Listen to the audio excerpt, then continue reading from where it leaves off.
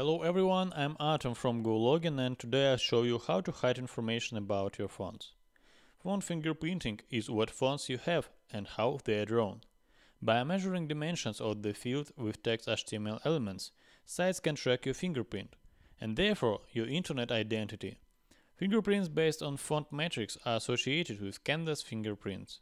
Perhaps this is not the most effective method of fingerprinting, but hiding this data is quite difficult. However, GoLogin will help you with this. So how can you manage your fonts in GoLogin?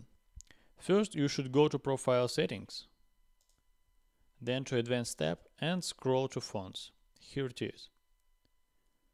You can enable font list masking or Unicode glyphs and DOMRect fingerprinting protection. Then you can edit the list of fonts. You should just uh, select the required and click Save.